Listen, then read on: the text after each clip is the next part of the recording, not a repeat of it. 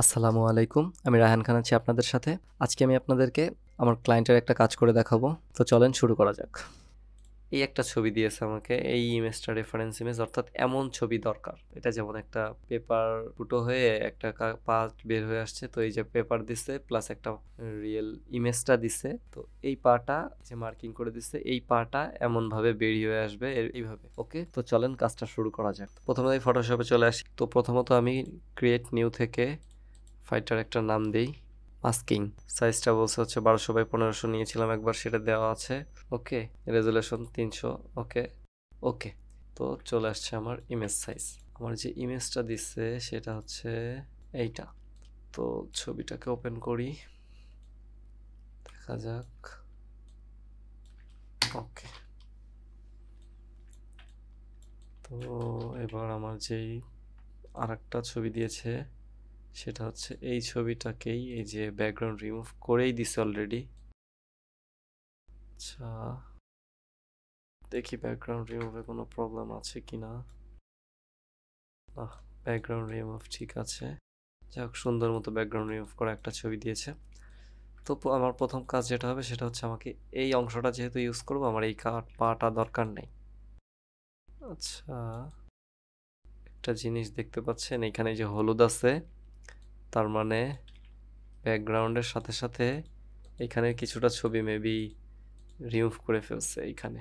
ওকে যাক ব্যাপার না, এটাকে আমি ফিরিয়ে আনতেছি। তো এবার আসি আমাদের যে অরিজিনাল ইমেজটা তো আমাদের যে রেফারেন্স ইমেজটা আছে, সেটা হচ্ছে পাটা এদিক থেকে এসে এইভাবে আসছে।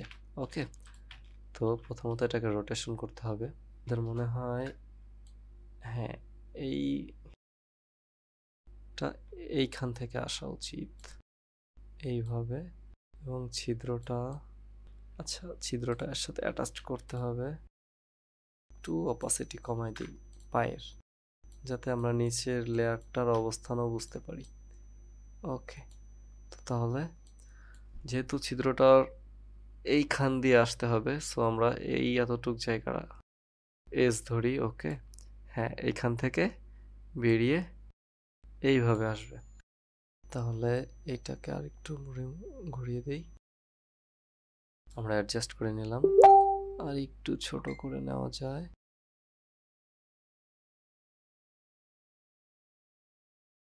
আমাকে ফাইলটা সেভ করে নিই কন্ট্রোল এস দিস পিসি ডেস্কটপে সেভ করি। এভান্তি মাস্কিং ওকে আমরা এই অংশটুকু আগে পাত করে নিতে পারি। এই শেপগুলো দেখতেছেন একটু মানে ক্রিটি অর্থাৎ এই শেপের অরিজিনালিটি যদি রাখতে চান, তাহলে অবশ্যই এটাকে খুব সূক্ষ্মভাবে এবং যেমন আছে সেইভাবেই পাত করতে হবে। আমাদের পাত কমপ্লিট এইখানে পাত অপশনটা আছে, পাতটাকে আমরা রিনেম করে ফেলি, পাত ওয়ান নামেই থাক ওকে আমি রিনেম করে রাখলাম যাতে এটা রিমুভ না হয় ওকে তো এবার আমরা লেয়ার থেকে, পাত থেকে আমরা সিলেকশনটা ধরি। কন্ট্রোল ইন্টার দিলেও সিলেকশন ধরতো। যাই হোক তো আমাদের এবার যেটা করতে হবে সেটা হচ্ছে এটার অপোসিটি বাড়াই দেই। কন্ট্রোল ডি ডিসিলেক্ট করি। আগে আমরা এটাকে স্মার্ট অবজেক্ট করে ফেলি। হ্যাঁ স্মার্ট অবজেক্ট হয়ে গেছে। শর্টকাট ইউজ করছি আমি। আপনারা কনভার্ট টু স্মার্ট অবজেক্ট দিতে পারতেন। সাইড বাটন ক্লিক করে কনভার্ট টু স্মার্ট অবজেক্ট যাতে আমাদের মাস্ক মেইন মাস্কটাতে কোনো প্রবলেম না হয়। এখন আমরা যেটা করব সেটা হচ্ছে আমাদের যে পাত্রটা করেছিলাম, এই যে পাত্রার সিলেকশনটা নেই। আমাদের লাগবে, এই অংশটুকু লাগবে না, পিছনের অংশটুকু। পিছনের অংশটুকু যেহেতু লাগবে না, সেহেতু আমরা এটাতে আবার মাস্ক করে নেই মাস্ক করে পাতের সিলেকশনটা ডিসলেক্ট করে নিয়েছি মাস্ক করে। কন্ট্রোল শিফট আই আমার গ্রাফিক্স কার্ডের জন্য শর্টকাটগুলো নিচ্ছে না, আমরা এটাকে ইনভার্স করব। শিফট এফ সেভেন দিলে ইনভার্স হয় শর্টকাট তো এবার আমরা হোয়াইট একটা ব্রাশ নিই। সরি এটাকে এক্স দিয়ে ব্ল্যাক করে নিলাম উপরে, যেহেতু মুছতে হবে। ওকে এটাকে আমরা এই বাইরের অংশটুকু মুছে দিলাম। অর্থাৎ সিলেকশনের ভিতরের অংশ মুছে নাই, বাইরের অংশটুকু মুছে গেছে। দেখতেই পাচ্ছেন আমরা আলফা করে দেখি অল্টার চেয়ে ক্লিক করে। হ্যাঁ তো যার কারণে এখন মনে হচ্ছে পাটা ভিতর থেকে বের হয়ে আসছে। ওকে, এটা এখনও অরিজিনালিটি আসে নাই শ্যাডো ট্যাডো দিলে আরও ক্লিয়ার হবে। তার আগে আমরা যেটা করতে পারি, আমাদের ইমেজের এই অংশগুলো দেখেন হোয়াইট আছে। তো এইগুলোকে আমরা ফিল করে দিই। সেটা ফিল করব কীভাবে? আমাদের যে ব্যাকগ্রাউন্ডটা এটাকে একটা কপি করি রাইট বাটন ক্লিক করে এটাকে রাস্টারাইজ করে নিই এবং সিলেকশন ধরে ল্যাসো টুল দিয়ে শর্টকাট এল দিয়ে আমি কন্ট্যাক্ট অ্যাবার মারলাম। অর্থাৎ আবার সিলেকশন করে দেখাই সিলেকশন নিচ্ছি শিফট ব্যাক স্পেস আর এখানে অবশ্যই ফিল থেকে কন্ট্যাক্ট অ্যাওয়ারটা থাকতে হবে হান্ড্রেড পার্সেন্ট থাকতে হবে দেন ইন্টার ওকে তাহলে দেখেন এটা অটোমেটিকলি কালারটা ফিল হয়ে আসলো ওকে সেম সিলেকশন দিয়ে এই জায়গাটাকে আমরা সিলেক্ট করে নিলাম। আমরা যদি অপশন থেকে যাইতে চাই, সেক্ষেত্রে এডিট ফিল শর্টকাট দেওয়া আছে এফ ফাইভ তাছাড়া একটা শর্টকাট আছে শিফট ব্যাক স্পেস যেটা আমি এর আগের বার দিয়েছি। কন্ট্যাক্ট অ্যাওয়ার ওকে এটা ফিল হয়ে গেল। এবার সেমভাবে বাকি অংশটুকু আমরা সিলেকশন ধরে ফিল করে নিলাম। তো তবে আমার মনে হচ্ছে পায়ের এদিকে আরেকটু জায়গা রাখা উচিত। তো আমরা এটা যেটা করতে পারি আর একটু উপর দিকে নিয়ে যেতে পারি। যেমন সব লেয়ারগুলো ধরে এটা বাদে আর একটু আচ্ছা এটা সহ আর একটু উপর দিকে নিয়ে গেলে হ্যাঁ আমার উপরে বেশি জায়গার দরকার নেই। এবং নিচে মাঝামাঝি রাখি, এদিকে এদিকে জায়গার একটা স্পেসের দা, ব্যাপার আছে। ওকে, তো সেম কাজটা আমি এবার করি। দেখতেই পাচ্ছেন? তো আমার পুরো জায়গাটা হয়ে গেছে। এখন এর ভিতরে ভাই ন্যাচারাল একটা ফিল নাই। ন্যাচারাল ফিলটা যদি আনতে চাই, সেক্ষেত্রে আমাকে যেটা করতে হবে, হচ্ছে বড় কাজ, সেটা হচ্ছে শ্যাডো আসলে একটা জিনিস শ্যাডোর উপরেই ডিপেন্ড করে কতটা রিয়েলিস্টিক লাগবে। আমি যদি এখানে ভালো মতো শ্যাডোটা দিতে পারি, তাহলে রিয়েলিস্টিক লাগবে। আদারওয়াইজ জিনিসটা অতটা ভালো লাগবে না। যেমন এইখানে শ্যাডোগুলো অরিজিনাল মনে হচ্ছে। আমাদের রেফারেন্স জিনিসটা একটু দেখে নিলে ভালো হতো দেখতেই পাচ্ছি শ্যাডোটা বেশ শার্প একটা শ্যাডো দেওয়া আছে। এটাও শার্প শ্যাডো আমার মনে হয় আমাদের এই শ্যাডোটার আদলে শ্যাডোটা দিলে ভালো হবে। ওকে দেখা যাক। তো এই শ্যাডোটা এইটা এক এজ এই একটা এজ অর্থাৎ এই দিকে এইভাবে নেমে আসছে। তো আমরা সেমভাবে শ্যাডোটা ক্রিয়েট করি। এটাকে একটু পাটাকে একটু ঘুরাই দিই। দেখতে পাচ্ছেন আমার মাস্টার ফিক্সড আছে, অর্থাৎ আমি এটাকে আনলিঙ্ক করে দিচ্ছি। যাতে আমি পাও এখন যতটুকু ঢুকাবো, এখান থেকে মাস্ক মুভ হবে না জাস্ট পাওটা মুভ হবে। ওকে তো আমি পাওটাকে একটু ঘোরাই দিই কজের পাওটা এইভাবে এসে এদিক থেকে আসছে। আই থিঙ্ক বেটার আগের থেকে একটু বেটার কাজ আমার শ্যাডোটা এদিক দিয়ে বুঝতে হবে। যার কারণে আমি পাওটা একটু ঘোরাই দিলাম। তাহলে এবার আমরা ড্রপ শ্যাডোটা দিয়েই দেই। তো ড্রপ শ্যাডোটার ডিরেকশনটা হবে হচ্ছে বললাম যেটা একদম নিচ বরাবর এবং আর একটা যে ব্যাপার আছে সেটা হচ্ছে ডিস্টেন্স একটু বাড়ায় দেই শার্পনেস কমায় সাইজ একটু ব্লারি দিয়ে দিই। ওকে আমরা ম্যানুয়ালি চাইলেও ফিক্সড করে নিতে পারি। হ্যাঁ, এই বরাবর থাক। এখানে হাত ধরে দিয়ে দিলাম। Okay I think that's look pretty একটু কমাই দিই আমাদের ইয়াটা। অপাসিটিটা অপাসিটি এতটুক এনাফ সিক্সটি ফাইভ ওকে তো এখন আমরা দেখতে পাচ্ছি আমাদের এখানে একটা শ্যাডো আসছে। বাট শ্যাডোর কালারটা দেখেন, এইটার একটা শ্যাডোর কালার আর আমাদের শ্যাডোর কালার এক হইল না। অপাসিটি আর একটু দরকার আছে। শ্যাডোতে ক্লিক করে অপাসিটিটা মনে হচ্ছে বেশি কমে গেছে। আমরা সিক্সটি ফাইভ দিতে গিয়ে থার্টি ফাইভ দিয়ে ফেলছিলাম। এবার যেটা করতে পারি রাইট বাটন ক্লিক করে ক্রিয়েট লেয়ার অর্থাৎ আমাদের শ্যাডোর লেয়ারটাকে আমরা আলাদা করে নিলাম। এবার দেখেন এই লেয়ারে আমাদের শ্যাডো এই লেয়ারে আমাদের ইমেজ দুইটাকে আলাদা করে নিয়ে এখন আমরা ইচ্ছা মতো মডিফাই করতে পারি। যেমন শ্যাডোটা এখান দিয়ে বের হয়ে গেছে। আমরা কন্ট্রোল টি দিয়ে ওয়ার্প করে শ্যাডোর মাথাটা ভিতর দিক থেকে বাইরের দিকে এইভাবে বের হয়ে আসছে। ওকে এটা দেখাই দিতে পারি। ভিতর দিকে চাপা থাকবে আর হ্যাঁ এবং এদিক থেকে বের হবে না, পিছনেও শ্যাডো থাকবে না কোনো। ওকে। আর শ্যাডোর যে কালারের ব্যাপারটা বললাম, সেটা কাজ এখন করব। কন্ট্রোল ইউ অর্থাৎ আমাদের এখানে যে কালার এবং কালার কালারাইজড ওকে, আমরা কালার বাড়াই দিলাম। আমরা এবার শ্যাডোটাকে যেহেতু কালারাইজড করতে চাচ্ছি, কি কালার দিব দেখে আমরা এটাকে নড়াচড়ায় মেয়ে আমার মনে হচ্ছে রেডিশ একটা ভাব আসছে। ফুল দিয়ে দিই। কালার ব্যাপারটা হ্যাঁ দেখতে পাচ্ছেন আপনারা এখন। যেটার ভিতরে একটা রেডিশ অর্থাৎ এই কালারের যে টোনটা সেটা অলমোস্ট দেখেন প্রিভিউ অফ করলে দেখতেই পাচ্ছেন, এটার একটা ফিল আসছে। হ্যাঁ আই থিঙ্ক ইটস বেটার এবং ব্রাইটনেসটা আমরা অ্যাডজাস্ট করে নিই। ওকে মনে হচ্ছে একটু কম হবে। বাইশ কি তেইশ? হ্যাঁ ওকে তো এইবার আমার মনে হচ্ছে পায়ের শ্যাডোটা বেশি শার্প দেখি একটা কপি করে রাখি। এবার নিচেরটাকে, এই কপিটা রাখলাম জাস্ট ব্যাকআপ হিসাবে, ওকে ব্লার দেই।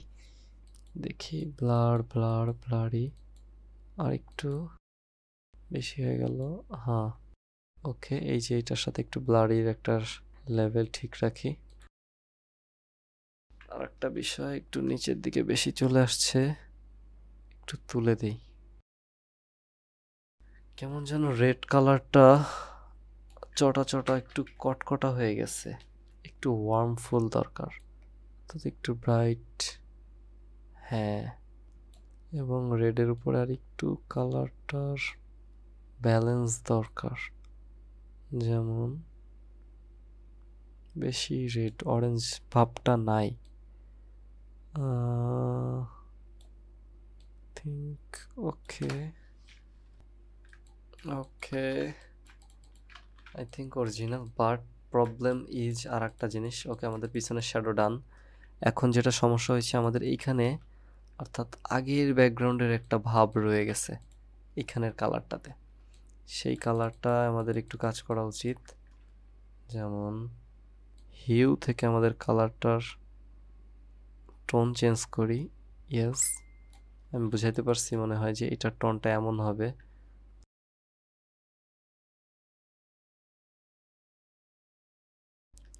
একটা কপি রেখে দিই। এইবার কন্ট্রোল জিউ হ্যাঁ দেখেন এই কালারটা জাস্ট ব্লুর পিছনে এখানে ইয়েলোর বাতাসটা দরকার। অর্থাৎ এইখানে যে একটা ইয়েলিশ ভাব আসছে, এইটা দরকার ছিল। এবং এই পোড়াটা জুড়েই একটা ইয়েলিশ ভাব এখন বোঝা যাচ্ছে এতক্ষণ যেটা ছিল না। এটা কজ অরিজিনাল একটা ওয়েদারে থাকলে সেই টনটাই মূলত পুরোটা জায়গা জুড়ে থাকে।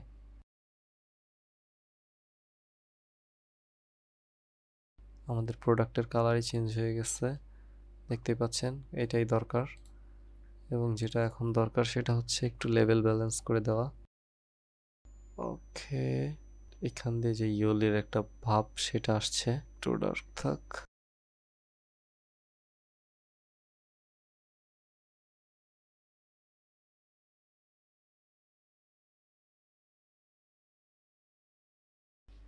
ওকে একটু শার্পও করে দিয়েছি। এইবার দেখেন এই ম্যাচটা থেকে এই ম্যাচটা ম্যাচিংয়ের যে ব্যাপারটা হ্যাঁ তবে এই যে এইসব জায়গায় যে কালারগুলো আমাদের নষ্ট হয়েছে আমরা সেই কালারগুলো চাইলেই ফিরে আনতে পারি। যেমন ক্লায়েন্টের যদি এই কালারটাই দরকার হয়। যেমন এই কালারটা আসছিল কোথা থেকে সেটা যদি দেখতে চান, আমি এই জন্যই ব্যাকআপটা রাখছি, দেখেন। সবার উপরে নিয়ে আসি। প্রিভিউ অন ওকে এইটার ওয়েদারের যে কালারটা সেটার একটা এফেক্ট এটাতে পড়ছে। দ্যাটস ওয়াই এটা এমন লাগছিল। বাট এখন যেটা, এই যে, এই দুইটার ভিতরে পার্থক্য এইটাই। কাজ এইটার ওয়েদারটাই ছিল এই কালারের জুতাটাও এই কালার লাগছিল। এখন এইটার ওয়েদারটা ইয়েলো তো আমি ওয়েদারের সাথে এটার কালারের টনটা ঠিক করলাম। ওকে, যাই হোক, এটা ছোট একটা ব্যাপার। তো তার ভিতরে আবার আমাদের যে জুতোর এটার একটা অরিজিনাল কালার ছিল, এইটা, সেটা নষ্ট হয়ে গেছে। তো সেটা আনার জন্য আমি নিচে একটা ব্যাকআপ লেয়ার অবশ্য রেখে দিচ্ছি। আমি চাইলেই এখন আনতে পারি, সেটা হচ্ছে কি, কীভাবে সেটা দেখাই যেমন, এই এতটুকু। এতটুকুকে আমার যদি আনতে হয়, তাহলে আমাকে যেটা করতে হবে, এই মাস্টের উপর থেকে ব্রাশ করে দিতে হবে। আমাকে ব্রাশ টু নিতে হবে। এবং সফট করে ব্ল্যাক ব্রাশ দিয়ে আমি জাস্ট এতটুকু মুছে দিতে পারি। অর্থাৎ যতটুকু আমার গ্রিন কালারের যে এরিয়াটা ছিল, এই গ্রিন কালারটা আমি জাস্ট নিয়ে আসি। দেখতে পারতেছেন? হ্যাঁ এই কালারটা যে চলে আসছে এইটাও একটা গ্রিনেরই ভাব ছিল। অর্থাৎ আমার এইটার সাথে ম্যাচ করে। চেঞ্জ হয়েছে ওকে এইটুক ব্যাপার না। ওকে আমাদের তাহলে অরিজিনাল কালারটাও থাকল, আমাদের অরিজিনাল ওয়েদারটাও ক্রিয়েট করলাম। ওকে সামনের শ্যাডো শেষ সাইডের শ্যাডো শেষ। এখন যে ব্যাপারটা রইল, এটা হচ্ছে আমাদের এই জায়গার ব্যাপারগুলো। যেমন এই ব্যাপারগুলো আমাদের এইখানে যে ইমেজটা এগুলো একটু ডার্ক হবে। তো এবার যেটা করতে পারি, আরেকটা শ্যাডো লাগবে আমাদের। সেটা হচ্ছে আমাদের এই এসটাতে একটা শ্যাডো হবে, যেটা এইটার শ্যাডো এখানে পড়েছে। ওকে কজ আপনার এইটার শ্যাডো এখানে পড়ছে, এটা বুঝলাম, কিন্তু এইটার শ্যাডোটা তো এখানে পড়তে হবে, তাই না? তো সেটার জন্য আমাদের যেটা করতে হবে, সেটা হচ্ছে কি আমাদের একটা এক্সট্রা লেয়ার নিতে হবে সবার উপরে, ফাঁকা লেয়ার এবং আমরা যে পাতটা করে রাখছিলাম, এই পাতটা সিলেকশন ধরে নিই। ওকে আমরা এই নিউ লেয়ারে আমরা এখন নিজেদের আন্দাজ মতো যেটা শ্যাডো পড়তে পারে যেমন, সেই শ্যাডোটা আমরা ক্রিয়েট করি। ওকে, এটা হলুদ কালার আছে, আমরা এইটাকে অবশ্যই ব্ল্যাক করে নেব ডি ডিফল্টভাবে এটাতে ব্ল্যাক চলে আসলো। মোটামুটি একটা ডেপথ বোঝা যাচ্ছে এবং এই সাইডটাতেও শ্যাডো আসবে এবং সেমভাবে কন্ট্রোল ডি ওকে, আমাদের যে শ্যাডো লেয়ারটা দেখতে পাচ্ছেন, এই যে একটা শ্যাডো লেয়ার তৈরি হয়েছে। তো এবার আমরা যেটা করতে পারি, সেটা হচ্ছে এই শ্যাডো লেয়ারটাকে সেম এই শ্যাডোর আদলে মডিফাই করতে হবে। কন্ট্রোল ইউ কন্ট্রোল জে দিয়ে একটা ব্যাকআপ রেখে দিচ্ছি। এটাকে আমরা কালার চেঞ্জ করব। কালারটা হবে অরেঞ্জিশ যেই ফিলটা ইয়েলোর ওকে পুরো কালার দিয়ে দিই এবং এই টোনটা একটু ডার্ক হবে। একটু ডার্ক করে ওকে হ্যাঁ তো আরেকটা যে বিষয় সেটা হচ্ছে এই ব্যাপারগুলো, এই জায়গাগুলো আমাদের একটা কালার আসতেছে। অর্থাৎ ব্যাকগ্রাউন্ডের এটাকে ব্ল্যাক করে দিলে কি একটা ডার্ক হোল ভালো লাগবে? হ্যাঁ এটা মনে হয় জোস হবে কজ যে আমাদের রেফারেন্স ইমেজটা এটাতে যে একটা ব্ল্যাকের ভিতর থেকে পাটা বের হচ্ছে, আশপাশে কিছু দেখা যাচ্ছে না। তো আমরাও সেইটা সেই কাজটাই করি যদি। তো এটা ব্ল্যাকই হওয়ার কথা।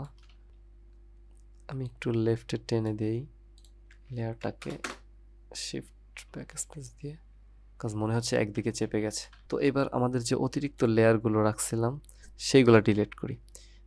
রিনেম করে দিই। আমরা এটাকে একটা ফাইনাল জেপিজি সেভ দিই। ওকে জেপিজি সেভ এই হচ্ছে আমাদের দুইটা কাজ। দেখতেই পাচ্ছেন রেফারেন্সের সাথে মিল রেখে যতদূর সম্ভব করা ট্রাই করছি।